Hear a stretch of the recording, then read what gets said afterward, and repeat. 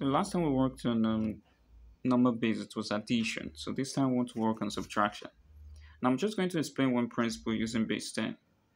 If we have to subtract um, 9 from 25 in base 10, what we normally do is we put the 25 and put the 9, we subtract, and then we say, okay, 5 minus 9. We say it cannot go. So we have to borrow from 2. Whatever we're borrowing from 2, we say we add it to 5. But take note of what we're borrowing from 2. We're borrowing 10 from 2 and not just 1 because we're working in base 10. So when we add 10 to 5, that means this becomes 15. And then this becomes 1. So 15 minus 9 will give you 6, and then you can bring down your 1. So we normally know how to do this in normal arithmetic. So the answer is 16. But what about in other bases?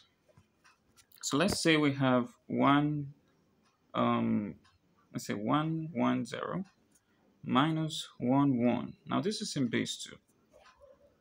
Okay, so if we make it bigger, we have one, one, zero minus one, one, base two. So whatever you're borrowing, if you get stuck, has to be in that base. So this is 0 minus 1. We know that cannot work. So we have to borrow from this guy here, this one here. And whatever he gives to him is base 2 number. So he has to give him 2, which is the base. So he gives him 2 um, or 1, 0. 1, 0 is the same thing as 2. So this one now becomes what? 0. He has given this guy 2. Now, or 1, 0. Now 2 minus 1 is what? Is 1. Okay. Now we have 0 up here. 0 cannot subtract 1. So he has to also borrow. So borrowing from 1 here, this one becomes 0. And then this one now becomes what? This one here now becomes 2. So 2 minus 1 is what? 1. Now why I'm using 2 is just to make it easier. You can also say that 1, 0. What is borrowing is 1, 0 base 2. Because um, 2 is the same thing as 1, 0 in base 2. So, but the idea is that whatever you're borrowing is that base, and the base is 2. So that's why I'm putting 2 up there. So you see the answer is what? 1, 1, base 2. You can also check it um, by adding 1, 1 to 1, 1 in base 2. And let's see. 1 plus 1 is what? It's 10. Oh, sorry, it's 1, 0 in base 2. So you put on 0. You carry 1. And what is 1 plus 1 plus 1 in base 2? 1 plus 1 plus 1 is 3. But in base 2, if we divide it, we'll see that this is 1 remainder 1. This 2, 0 remainder 1. If we take it up, the answer is 1, 1, base 2. So 3 in base 2 is 1, 1. And that is exactly this. Okay? Now let's work on another base 2 question. We have 1, 0, 0, base 2, subtract 1, 1, base 2. Would you be able to try this out? If you can, you can just pause the video and work on it.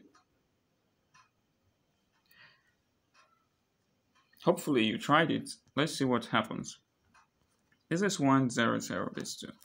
Subtracting 1, 1 base 2. Now this is 0, and it cannot subtract 1.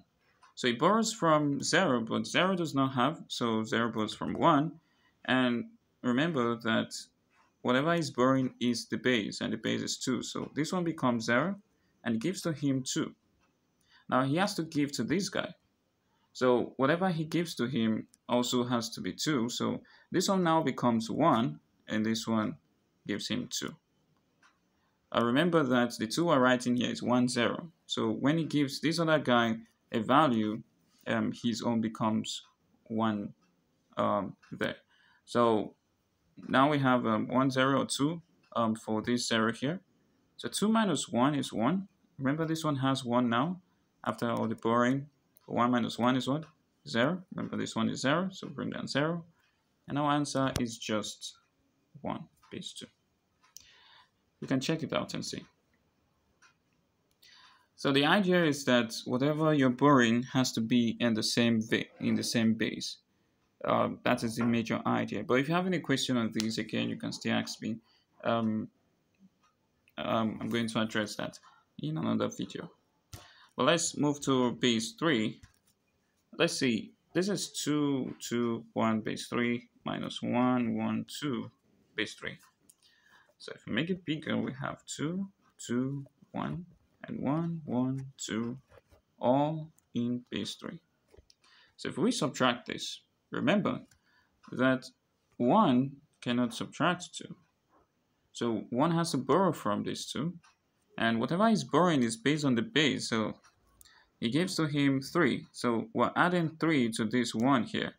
And 3 plus 1 is what? 4. Now, do you know how I got 4? Remember that he borrows from this guy. This guy becomes 1. He gives to him 3. And if we add 3 to this 1, it becomes 4. So that means we'll have 4 minus 2 becomes 1, 2. So now we have 1 here. Now 1 minus 1 um, is what? 0. Now let's check this last one. 2 minus 1 is what? 1. So naturally, it's only when it is not up to, um, when you cannot subtract um, properly that you borrow. But if you can subtract properly, then you just subtract properly. Remember to add what you borrow to the value you're using to subtract. So basically we got 1, 0, 2, base 3 when we subtracted this.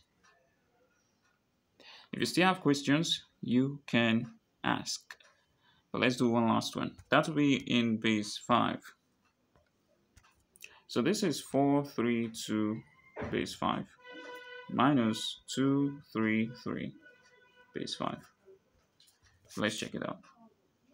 4, 3, 2 minus 2, 3, 3. You can try this out yourself and let's see what you get. Then we'll come back.